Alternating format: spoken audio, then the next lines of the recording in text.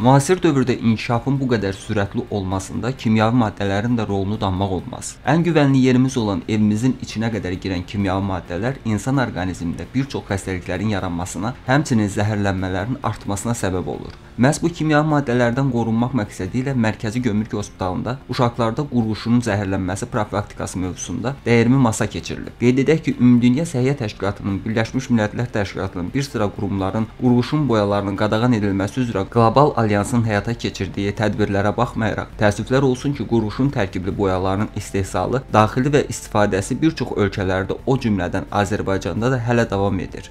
Qurğuşun zəhərlənməsi bu gün dünyamızda əfsuslar olsun ki, fərqli-fərqli istehsalat sahələrində qurğuşunun miqdarının tənzimlənməsi mümkün olmadığında uşaqlarda ciddi sağlamlıq problemləri yaradan bir problemdir və bu gün də tədbirimizdə ölkəmizin demək olar ki, bu sahə ilə əlaqədar bütün aidiyyatı dövlət qurumlarının nümayəndələrinin iştirakı ilə bu problemin tənzimlənməsi, dünyada var olan problemlər, e, dünyada var olan problemlərin həlli istiqamətində beynəlxalq səviyyədə olan təcrübələrin e, analizi aparılmaqla yanaşı, həm də ölkəmizdə bu məsələnin həlli istiqamətində qanunvericilik bazasından tutmuş, normativ hüquqi aktlara qədər nələrə ehtiyac olduğu ətraflı bir şəkildə müzakirə aparılır.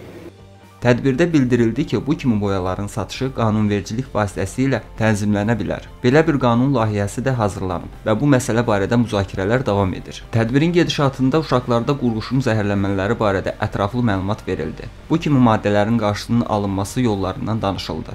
Azərbaycanda qurğuşun boyaların tənzimlənməsi hazırki vəziyyəti və bu sahədə əldə olunan irəliləyiş barədə fikir mübadiləsi aparıldı.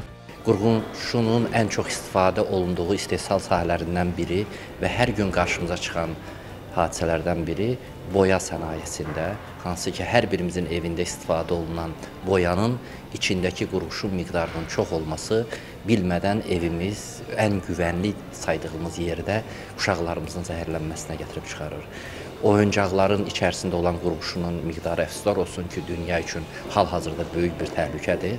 Əlbəttə ki, fərqli-fərqli sahələr üzrə olan ekspertlərin fikir mübadiləsi ilə işin daha effektiv və səmərəli e, həll olunma yolları e, düşünürəm ki, tapılacaq və bizlər də dünyada var olan bu tendensiyaya həm qoşulmaqla, həm də gələcək nəsillərimizin sağlamlığı yönündə kiçik də olsa bir töhfə vermiş olacaq. Qeyd edək ki, Azərbaycan Səhiyyə Nazirliyinin, Azərbaycan Tibb Universitetinin, Azərbaycan Respublikası Ekologiya və Təbii Sərvətlər Nazirliyinin, Ümumdünya Səhiyyə Təşkilatlarının və digər təşkilatların nümayəndələri iştirak edirlər. Dəyirmi masada tərkibində qurğuşun olan boyaların insan sağlamlığına, xüsusilə də uşaqların səhhətinə mənfi təsiri ilə bağlı aktual məsələlər, boyalarda qurğuşun miqdarının tənzimlənməsi və ona nəzarət sahəsində digər ölkələrin əldə etdiyi nailiyyətlər, eləcə də bu istiqamətdə artılacaq zəruri addımlar müzakirə olundu. Tədbir iştirakçıların maraqlı müzakirələri ilə başa çatdı. Fərid Yusif, Tapdıq Afətoğlu, STV xəbər.